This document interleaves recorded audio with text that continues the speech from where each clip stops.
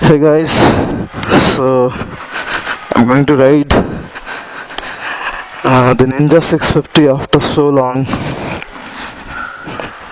It has been like long time since I have not ridden it.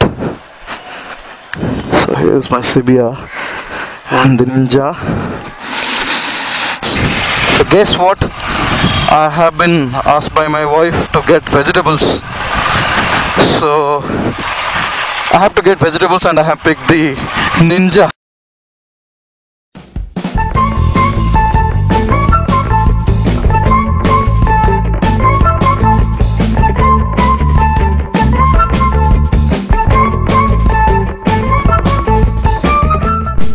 Well, uh, why did I select the Ninja to buy vegetables? Yeah, for obvious reason because it has got a lot of power and lot of torque. well, I'm just joking. It's not that. So the main reason was that ki since the Ninja was out at the service center for last almost like two or two and a half months. So yeah, I usually find uh, every reason to ride this bike. So let it be for vegetables or for dropping your kid at school, for any matter. Just wanted to ride it. So that's the reason I brought it here.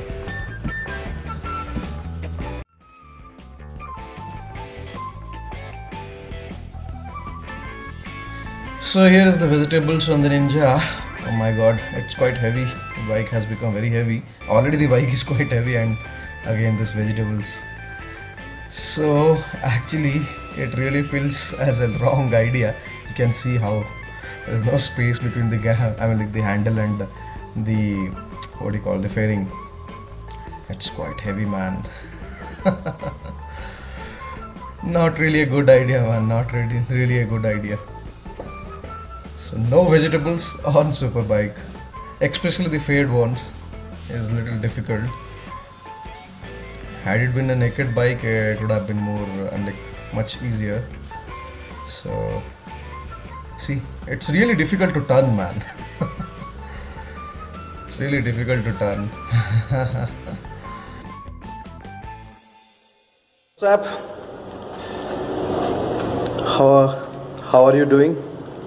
So I just finished off my vegetable shopping as requested by my wife. So you can see the bikes here. You see it? The CBR and the Ninja. Yeah, the Dominar is at the service center. So it's the second service and also there is a little bit of problem on the uh, front suspension. So they are fixing it up. So I'm also planning for a ride uh, from uh, Bhubaneswar to uh, Bangalore very soon. Maybe sometimes around next week I'll do that. And it's about uh, 1500 kilometers, and I am going to cover from Bhubaneswar to Visakhapatnam, then Vijayawada, and then from from there directly to Bangalore, or else I mean through Tirupati, or else the second plan is that key from Vijayawada I might go to uh, Hyderabad, and then from there I will uh, ride to Bangalore. So So why Hyderabad? Because uh, uh, because the I have to get the Benelli serviced in uh, between. So I don't think, uh, and I'm not sure actually if it will work out in Visakhapatnam or Vijayawada. So maybe in Hyderabad I'll do the service. that's the plan. If I am uh, going to Hyderabad, then probably I'll meet uh, Vikas Rachmalla, Johir Ahmed, and a couple of other friends also. So that's the plan as of now.